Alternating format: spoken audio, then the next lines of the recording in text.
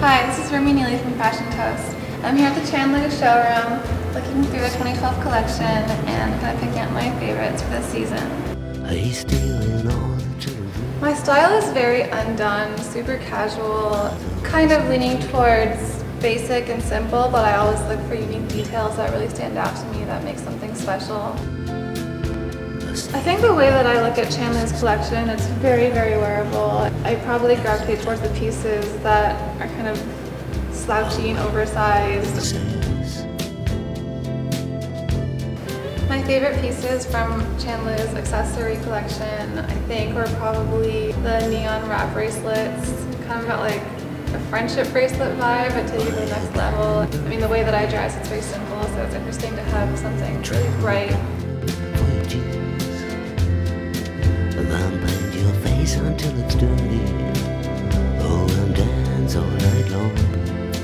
Love that everything is done in really great neutrals. The